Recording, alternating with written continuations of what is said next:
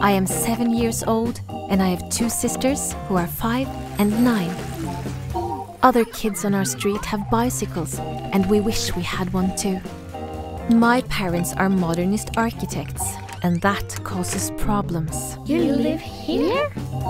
Our dining room chairs have only three legs.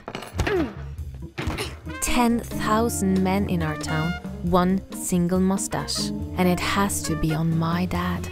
It makes my stomach hurt. What kind of mustache? A big one. Wow! You look like an installation at the Contemporary Art Museum! But is that really what we want?